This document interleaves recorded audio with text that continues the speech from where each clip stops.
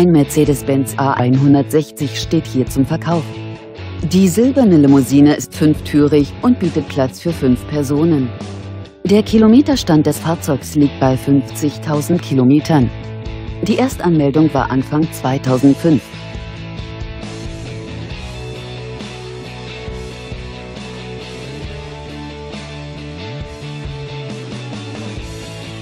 Die Limousine verfügt über zahlreiche Ausstattungsdetails wie ESP, Regensensor, elektrische Fensterheber, Multifunktionslenkrad, elektrische Seitenspiegel und vieles mehr.